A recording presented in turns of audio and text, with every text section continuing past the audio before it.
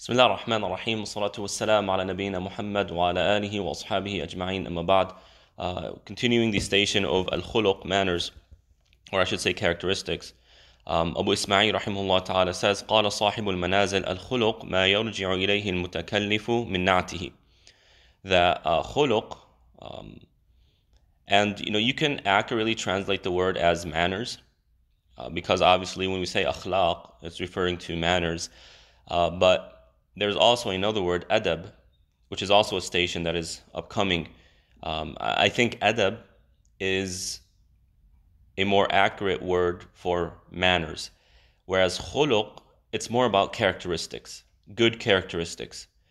And Abu Ismail here defines khuluq as what uh, certain attributes that go back to the person. Okay. Um, and he uses the word al mutakallif, uh, that the one who is responsible, religiously responsible, has these attributes. And perhaps using the word mutakallif here is to allude to the fact that these characteristics don't come about naturally. Or maybe that's not the best way of wording it. These characteristics or these attributes can only come about through a, a consistent and persistent uh, application of them. Okay, so uh, using also using the word na't is like an attribute indicates that the the behavior, the manner that this person is applying isn't something that is a one-time thing or every now and then, but rather it has become part of that person to the extent that we can consider it a characteristic of his or hers. okay, to kind of reframe this. If I were to meet someone and greet them, say hello, how are you, how's your day, and smile to them, I am behaving with manners. I am acting according to adab. However, doing that does not necessarily mean that I am a, let's say, a kind person. In other words, behaving with manners in one particular incident does not indicate that that manner is a characteristic of the person. Again, let me try and reword this. I meet someone and I interact with that person using kindness. Okay, so for that meeting, that one meeting for an hour or so, I behaved, my manners were the manners of kindness. Now, just because I behaved with kindness in this particular setting is not enough to indicate that I am a kind person. Right? How many people, or maybe you know someone who, when they're with a certain group, they're smiling, they're happy, they're easygoing, they're generous, but when they go back to their family, they are just nakdeen, as we say in Arabic. They're just a grumpy person. Right? So, you know, with one in one group they act with a certain manner. But with another group they act with a completely contrary manner. So it shows you that manners are different than characteristics or just because someone behaves with a certain manner does not make it one of their characteristics. So when we talk about khuluq right khuluq is talk is referring to manners that have become part of the person's character so notice that the word khuluq right, comes from the word khalaq. They're from the same root. And khalq is a creation, whereas khuluq is a manner uh, or a, a, characteristic. Why are they coming from this to, to, from the same root? Perhaps that is showing us that like a creation retains a certain form. Right? For example, this is a created entity. This water bottle. Okay, it's a created entity. And because it's created, it is makhluk, we assume that it's going to retain the same form until some external force comes and changes it. Right? But the idea is that being a makhluk, it retains a particular form. And it has certain characteristics, certain attributes. It's transparent, it can hold water, um, you know, there's a little bit of rubber here, you can use this as, you know, there are certain characteristics. And no matter how long or for a long time, it will retain these characteristics. So, similarly, khuluq is the are attributes that the person retains. It becomes normal behavior of theirs. So, giving charity once is good, but giving charity once does not mean that the person is a generous person. It is only after the person puts a lot of effort in giving and being generous can we call this person a generous person. Likewise, it becomes to the extent that it's almost natural that the person behaves with generosity. Right? It's not something, it has become so rooted and so ingrained in the person's mind and heart, so ingrained in their character that it comes naturally. When an opportunity comes, they don't sit and think, should I be generous or should I not be generous? It's almost natural that the body is, the person is kind of pushing him or herself to act generously. That is khuluq. And the Prophet ﷺ says that when you look at yourself in the mirror, right, say, Allahumma kama jammalta khalqi fajammil khuluqi. O Allah, as you have beautified my my uh, physical form, you know, how you created me, you created me with beauty, then beautify my khuluq, beautify my characteristics. Okay? Uh, so uh, it's important to make this, this, this differentiation. Akhlaq is a higher level than adab. But um, a person must have adab in order to be someone of akhlaq. But a person who behaves in adab does not mean it's part of their khuluq. I hope that makes sense. Okay. And Abu Ismail then says, واجتمعت كلمة الناطقين في هذا العلم أن التصوف هو الخلق. He says that the the scholars of spirituality, the scholars of tazkiyah, have all agreed. There's consensus among them that at tasawwuf, Sufism, is synonymous with good characteristics. In other words, the primary purpose of tasawwuf is to better your manners. And so when we look at the history of tasawwuf, right, when you look at the very early, you know, scholars who Sufism goes back to, you find that there are two primary goals. One is what Abu Ismail points to here, perfecting our character, perfecting our manners building and engaging these manners to where they become part of us, a characteristic of ours. The second primary goal is to build ikhlas, sincerity. These are the two purposes of tasawwuf. Now, of course, as the years went by, tasawwuf branched out into a thousand different branches. Some retained this initial goal while others completely changed it. It's more about, you know, a cult following and glorifying the sheikh and karamat and blessings and all this nonsense. Okay. Um, but Abu Ismail, is one of the early uh, Sufi, I guess not too early, but nonetheless, he is one of those who seems to have retained the initial goal, the initial purpose for which Sufism was developed as a uh, independent science. So the whole when we look through all of this, if you remember all of these stations that we've gone by, and you really ask yourself the question, how do these stations fit under the concept of khuluq? You can find how. Because once we get to the station of adab, Abu Ismail points to the fact that part of adab, part of manners is manners with Allah subhanahu wa ta'ala. So when we spoke about az-zuhud, asceticism, and we spoke about raja, hope, and we spoke about ikhlas, sincerity. All of these are forms of adab with Allah subhanahu wa ta'ala. These are manners with Allah subhanahu wa ta'ala. Um, so all of what we have gone through hopefully has been working to develop our manners to where they become more than just practiced manners, but rather part of our character, who we are. It becomes defining of who we are as individuals. وجميع الكلام فيه يدور على قطب واحد وهو بذل المعروف وكف الأذى. And all all literature, all research, all books that engage the topic of akhlaq, of uh, uh, character uh, or uh, well, how do I say it? Good character uh, revolves around one center point, and that is doing good and refraining from harming other people. So it's really interesting how he defines it here, or how he kind of uh, assesses what akhlaq is in a, in a kind of thesis, very summarized way.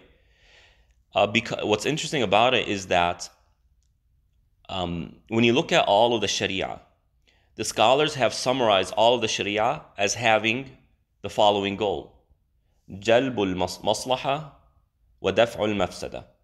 Bringing what is in our best interest, bringing it about, and deflecting that which is harmful. So you find the same definition when it comes to akhlaq. Also, the concept of al-amr bil ma'ruf wa nahi an munkar, commanding good or encouraging good and discouraging evil. It goes around this idea. And so akhlaq is the same thing. Now, how can we make this definition into a little bit more practical way? How can we see it more practically? And it's the following. What is good character? If you have, right, you are in a situation, you're in a scenario, you're dealing with someone, and you want to be good in character when you deal with that person regardless of who that person is, whether they're a good person, bad person, whatever it is. Um, but you have all this information. Should I act with this or with that, or should I do this and should I do that? And perhaps each and every one of them, you see how there is a reason to behave according to that. But you don't know what which one to choose, what is most pleasing to Allah. Well, perhaps you can ask yourself the question which of these will bring about the good and will and or will um, restrict the harm? What can I do? How can I behave to bring good to this person and protect him or her from harm? This is pretty much the pract- a pract- this is very a very practical definition of akhlaq. And then he continues to say, وَإِنَّمَا يُدْرِكُ إِمْكَانَ ذَلك فِي ثَلَاثَةِ أشياء. He says that the way we can achieve this, meaning achieve akhlaq, is through three things في العلم والجود والصبر these are the three how do we achieve good akhlaq good characteristics first with knowledge second with generosity and third with patience right how so why these three things well knowledge teaches us the good what is good and what is bad. So if Abu Ismail rahimahullah ta'ala is defining akhlaq or summarizing akhlaq as bringing good, doing good, and restricting the bad, well, what is good and what is bad? How do we know that this is good and that is bad? That requires knowledge. It requires knowledge. Because remember, when we say good and we say bad, we as Muslims aren't going to f- define these two words according to our own personal opinion. We're going to define it according to Quran and Sunnah. What is good to a Muslim is what Allah has deemed good. And what is bad to a Muslim is what Allah has deemed bad. Right? Now, the Sharia doesn't have an opinion on every single thing in life. But if it does, that's what, that's what we want to know. And so, in order to have good akhlaq, we as Muslims do not kind of rationally put together what is good akhlaq, but rather we seek that guidance from Quran and Sunnah, from Quran and Hadith. That is where we go to understand what is good and what is bad. And therefore, knowledge is integral to good akhlaq.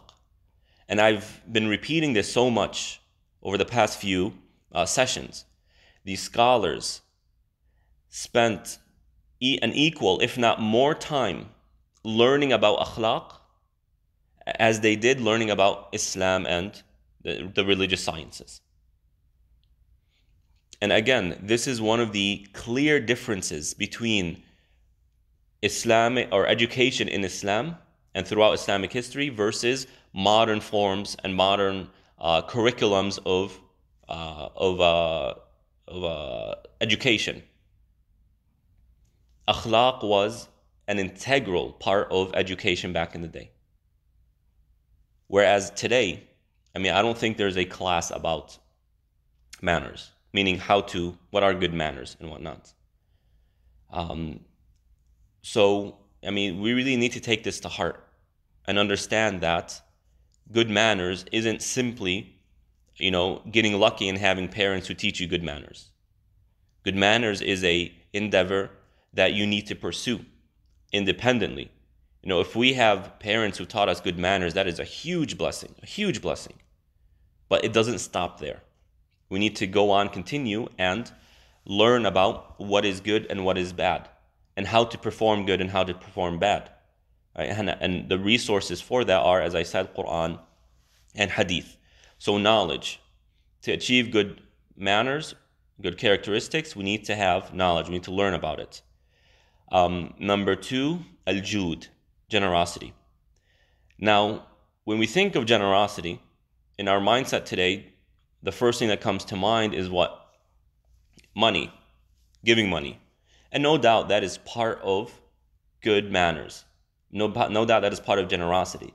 But the way Ibn Qayyim, rahmatullah um, the way he sees jud fitting into this topic isn't through generosity, but rather through magnanimity, which means a, a type of heart that is very forgiving. A heart that is much more likely to forgive than to retain resentments and seek uh, revenge. And so Ibn says that here generosity here is about developing a heart generosity within the umbrella or under the umbrella of good characteristics. It's about developing a heart that is comfortable with letting go of their rights, their own personal rights. Someone comes and pushes you. Very rude, very mean. Now, some people are gonna, no, I'm not gonna take that. I'm gonna get up and punch the person. Now, in Islam, that in of itself isn't sinful. That that the avenging oneself. وَجَزَاءُ سَيِّئَةٍ سَيِّئَةٌ مِثْلُهَا Right? Allah subhanahu wa ta'ala says that the uh, if someone is done wrong, then they are allowed to uh, reciprocate that wrong so long as it doesn't exceed the, the, the initial wrong. And the Prophet ﷺ also says this. Right? Um, but we're not going to say that that behavior is good manners uh, or the best characteristics. Let me put it that way. Because when we look at the Prophet, والسلام, the Prophet والسلام, never reciprocated harm that was done to him. You know, I mean, especially in the Meccan era, they threw the innards, the inner, you know, the, the, the organs of a camel on the Prophet والسلام, as he was, um, as he was uh, praying. And Abu Jahl, uh, took the intestines of a, of a camel once and choked the Prophet والسلام, as he was in sujood, I believe. And so many other things. The hypocrites and how the hypocrites were always attacking the Prophet والسلام. I mean, they tried to assassinate him. Yet we don't know, or at least I don't know of, a, of an incident where he avenged himself. The only time Allah, the Prophet والسلام, punished someone or hit someone or attacked someone is as Aisha radiallahu ta'ala anha describes. That the Prophet ﷺ's hand never hit someone.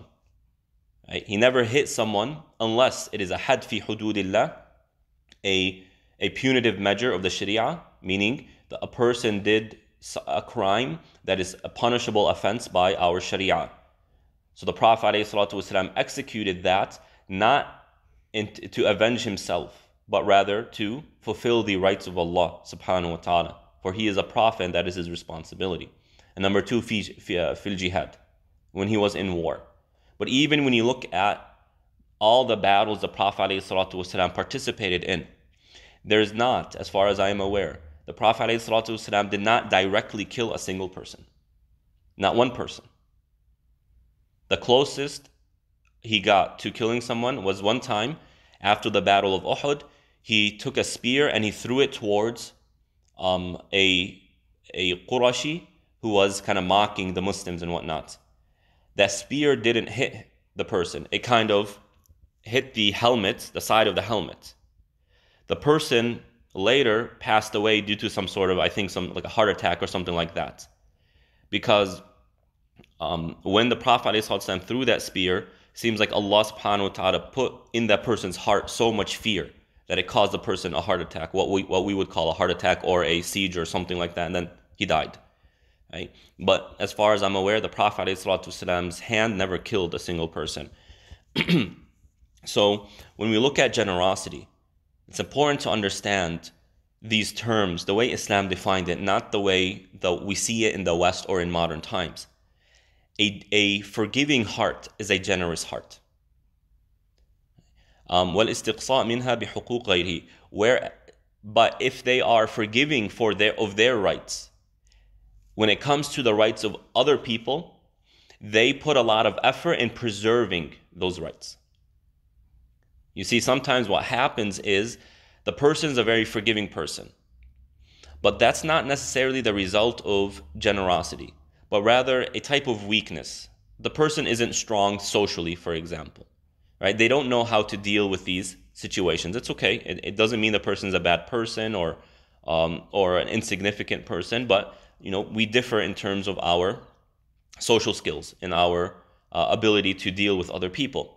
So a generous heart, when it comes to good characteristics, is a heart that is forgiving of one's own rights, but puts a lot of effort, the utmost effort, in making sure the rights of other people are preserved. And if someone's right is transgressed, uh, they will interject, intervene to protect that person's rights and to restore it for him or her. Uh, and this characteristic, this generosity, according to the way we just defined it, this is the kind of the general or the leader of good. A person who has this type of heart will have a heart that will easily embody the good characteristics that we aspire towards. Because someone who is able to forgive other people when they transgress his or her own right is someone who will easily be able to deal with arrogance, is not someone who ha- is a show off or um, is has a, a high opinion of, of him or herself. So what you find is that this type of this characteristic does wonders for removing the very negative characteristics that we don't want in our hearts, like arrogance and ostentation and, and others. And also, if someone's willing to forgive their own rights, you know, we have dignity. We as human beings were created with dignity. No one likes their dignity to be stomped on. But if someone has the maturity to let go of these things, right, then they'll have the the, the maturity to let go of some of their money, to let go of some of their desires for the sake of Allah, to let go of a lot of things which are necessary in order to do good. So that's the second one, generosity. And finally, number three, as-sabr, patience. Why? Because patience serves as a tool to preserve the previous two. How so?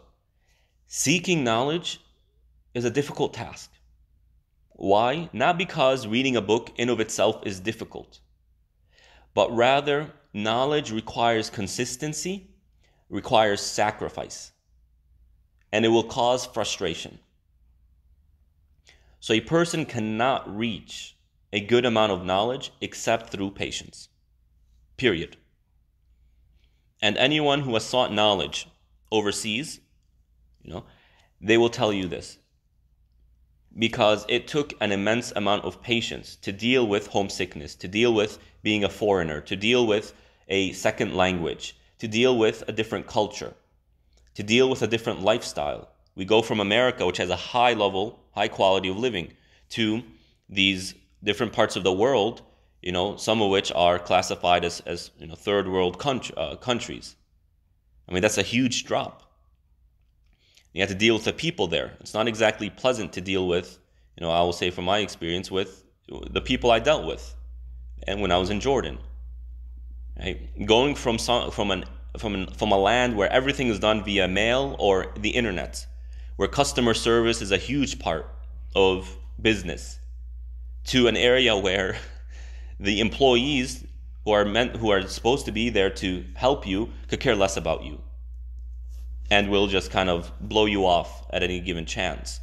It requires patience. Also, knowledge doesn't just sit in your mind.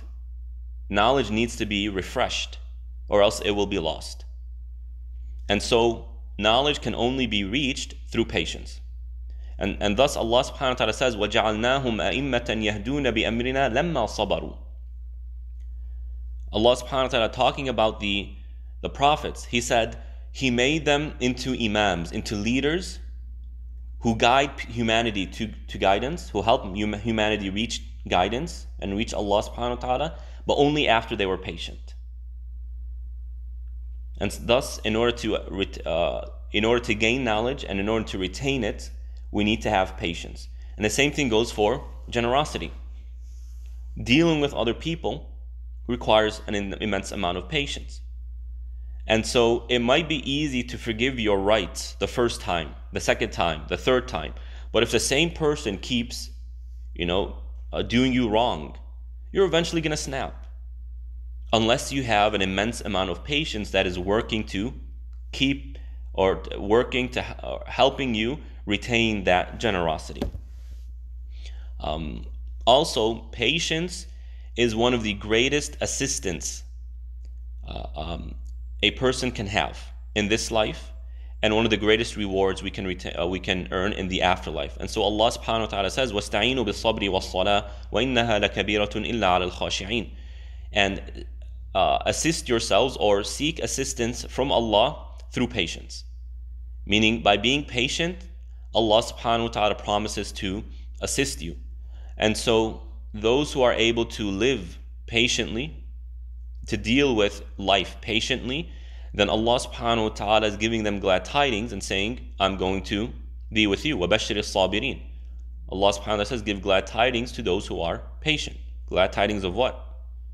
You know, glad tidings of an immense amount of reward, glad tidings of Allah's assistance, among other things. So if we truly want good manners, then we need to recognize that we will only retain it, we will only reach it through patience. And we ask Allah to give us the you know, tawfiq to do that. وهو على ثلاث درجات الدرجة الأولى أن تعرف مقام الخلق um, oh, I'm sorry أن تعرف مقام الخلق وأنهم بأقدارهم مربوطون فتستفيد بهذه المعرفة ثلاثة أشياء أمن أمن الخلق منك حتى الكلب ومحبة الخلق إياك ونجاة الخلق بك So the first level of khuluq is to recognize, to know the reality of the creation, to know the level of the creation. Now, Abu Ismail has spoken about this point in a previous station. And essentially, what it's saying is the following When we deal with other people, we need to deal with them for who they are, as if who they are is not in their hands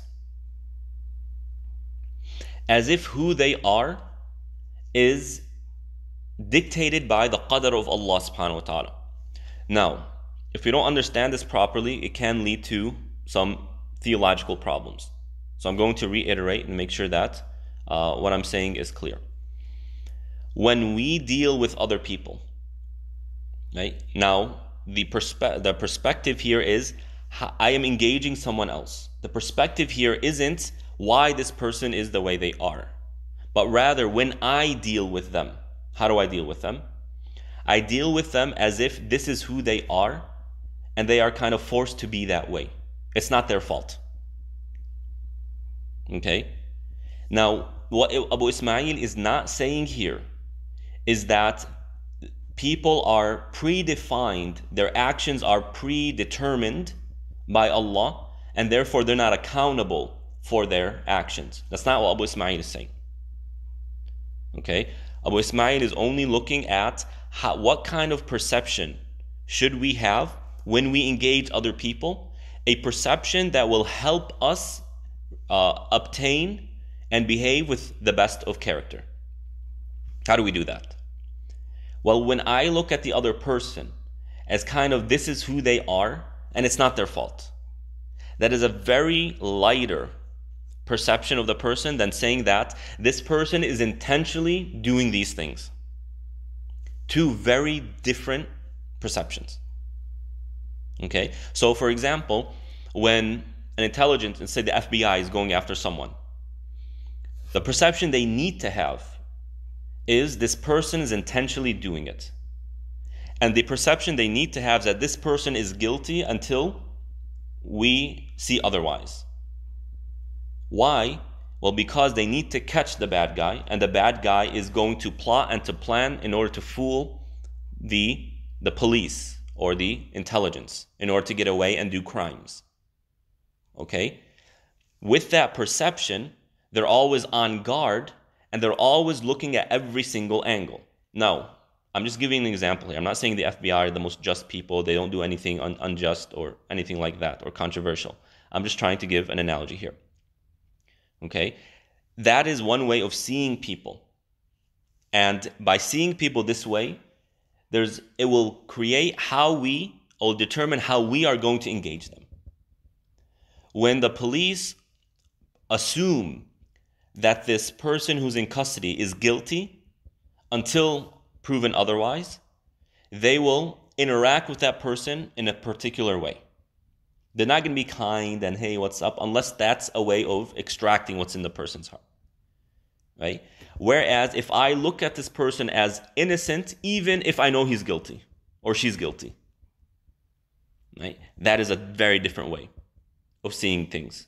And that's going to determine a very, or cause a very different reaction to that person. When it comes to akhlaq, what Abu Ismail is saying is that we need to be like the second one. I assume this person is an innocent person, even if well, even if I see them doing wrong.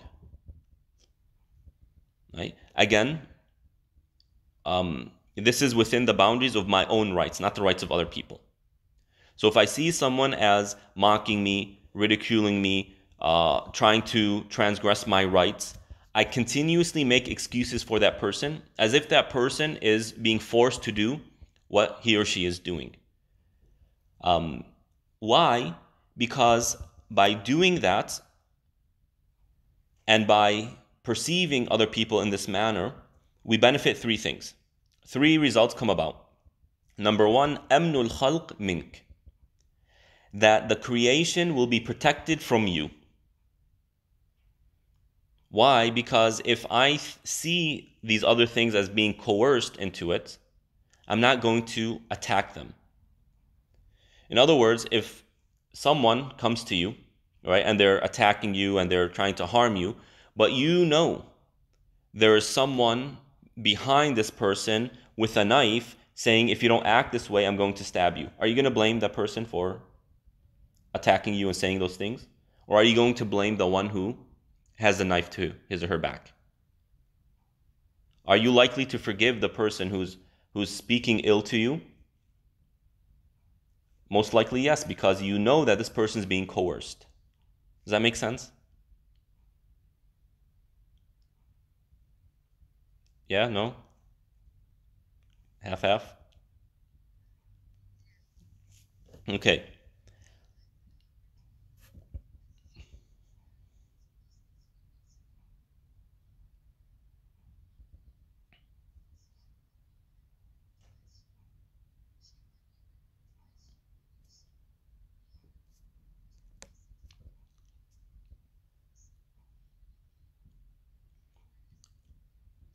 It falls into my own personal rights, not the rights of other people.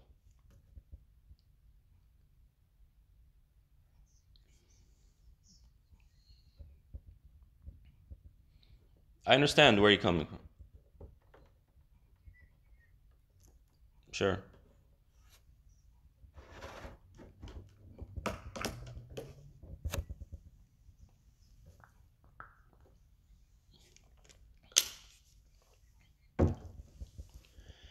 Right, but when they do it to someone else, right, that is when you it is part of akhlaq to step in and stop the person. The idea here, right, what I think Abu Ismail is is is saying is that um, is that when it comes to yourself,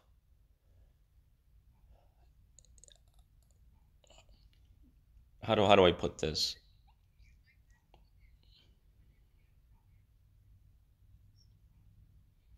I understand where you're coming from. I understand where you're coming from. Maybe we could discuss it after the uh, after the, the, session. Okay, um, but just to continue continue here.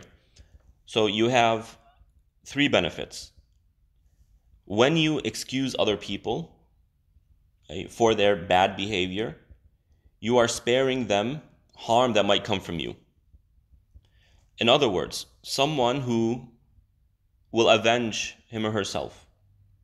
Right? Someone who will retaliate. Right?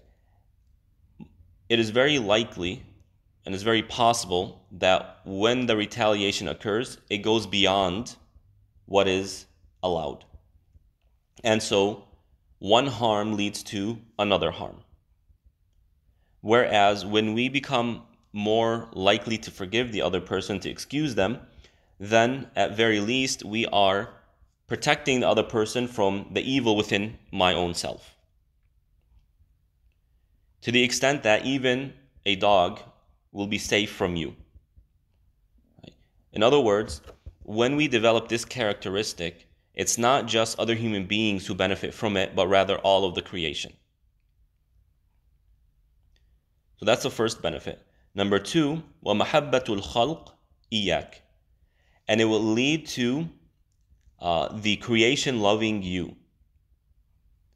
Because when society sees you as a very forgiving person, as someone who does not retaliate to protect their own self, right, to protect their own rights, uh, their own dignity, let me put it that way, then they will see this person as a very generous, kind, forgiving person.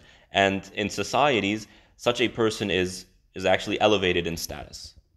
So, for example, um, one individual who I heard a story from said that uh, he, he's a religious individual who does a lot of dawah, and he went to a young a young man and started talking to him about Islam. Come to the masjid it's better for you. There's an afterlife. And this young man is is one of those you know arrogant, um, not well behaved individuals, and he spat on this person. Now, this isn't a young another young man who's talking to him. This is an elderly man with, with a gray beard. So you know how in our societies, I mean that's very bad. To for a young teenager for a teenager to do something like that to a senior, I mean that is very bad. So he spat on the beard of this elderly man. And what did this elderly man do? He went like this with his beard he wiped the, the spit off and then went, went like this with his face. Right? And when this teenager saw it, his face turned red and he did not know what to do. And so he kissed the guy's hand and said, I'm going to serve you the rest of my life. Right? Um, this is what Abu Ismail is trying to get at. Right? When this old man could have retaliated, and if he retaliated, he would have retaliated with the utmost right to do it not just Islamically, but also culturally. No one would have blamed that elderly man for if he were to have retaliated. No one would have. But he did not retaliate. And as a result, this young man remained safe. The, the elderly folk could have went to this person's parents and said, Your child did this. Right? But he didn't. So that, that the teenager uh, was safe from any harm, was spared any harm. likewise, the action of that elderly man earned the love of this teenager. Why do we love the Prophet ﷺ so much? Because of how much he forgave. Right?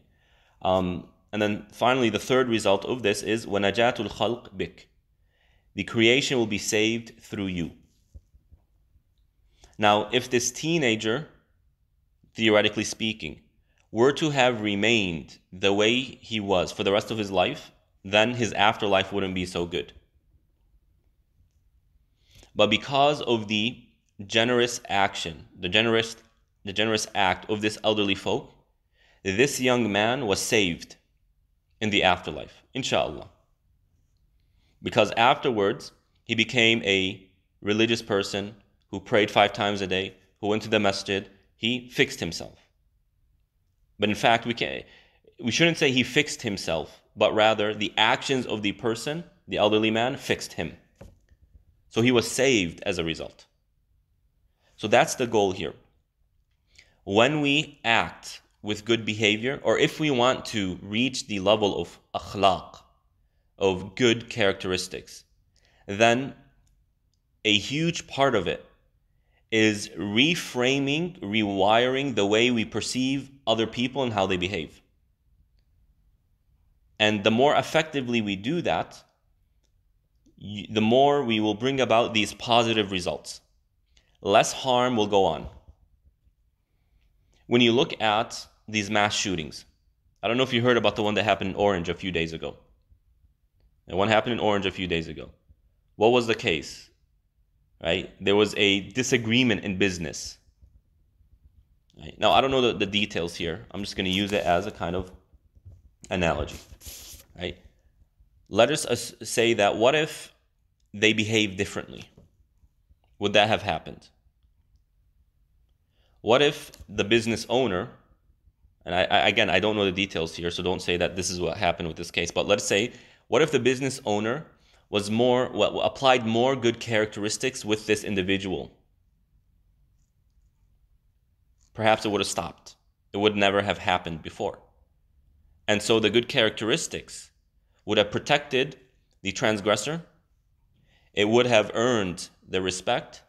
Likewise, it would have saved them all. That's the idea here. Reframe the way we see other people and stop. One of the biggest mistakes I see is that people expect more from others than they do of their own self. And I find this so often in marriages, especially in young, young individuals, young couples. They expect more from their spouse than they are willing to do for their spouse. That's not the way life works. It's not the way life works. And so, one of the advice I give to new couples, younger couples, is do not expect from your spouse something you're not willing to do for him or her. And that will help rewire, reframe the way we see the other person and lower the expectations. Lower the, your expectations of other people and increase your expectations of yourself. That is a foundation for good characteristics.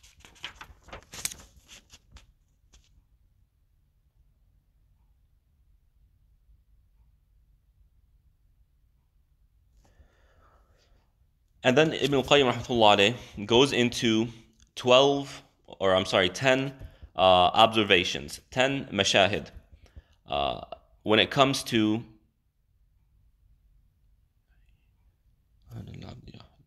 I'm sorry, 11 observations when it comes to what the person endures from the bad behaviors of the other of other people. Um, so, in other words, when we look at other people and their bad behavior, bad behaviors, these are 11 observations that can help you deal with them. The first one is what Abu Ismail mentions, and that is the mashhad of al qadar, the observation of the role of qadar in their behaviors. In other words, when someone harms you, this observation is telling you that that harm came to you by the will of Allah and by His adjudication and by His decree. And therefore, we view this, um, we view what we have endured from another person as similar to heat and cold. Do we go around saying, Oh, sun, how dare you make it hot? No, when it's a hot day outside, do we want to seek revenge from the sun? When it's nighttime uh, outside, are we going to go to the moon and say, How dare you not give us more light? We don't do that. We don't behave that way. I don't think anyone does unless they're, you know, they're going through some problems. Why not? Because we see the sun and the moon as inanimate objects that are nothing more than the qadar of Allah subhanahu wa ta'ala. That's how we created it. And so there's nothing to blame there. Similarly, when we look at other people's bad behaviors as being part of the qadar of Allah subhanahu wa ta'ala, then when they harm us, when they make us feel uncomfortable, it's no different than a hot day and how it makes us feel uncomfortable. Right? When it's a hot day, do you get all frustrated inside and oh, I want to stop this, I want to change this? Not, not, not really, right? Yeah, we feel uncomfortable. We say, oh man, I can't wait till summer ends, or I can't wait for the winter, or I can't wait till it cools down right? But we don't get we don't get eaten inside as a result. So if we view the poor behaviors of other people towards us as being kind of part of the system of qadar, then at least it will prevent us from becoming eaten inside. Because when a person wants revenge, it eats them alive.